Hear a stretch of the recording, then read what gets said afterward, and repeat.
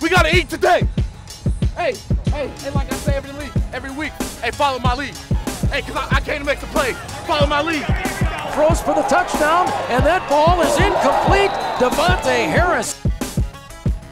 Again, the slot in motion. Back to throw is Mays. In trouble. Down he goes. Davontae Harris. Looking, looking, throwing to the corner. It's incomplete. Great coverage by Davontae Harris.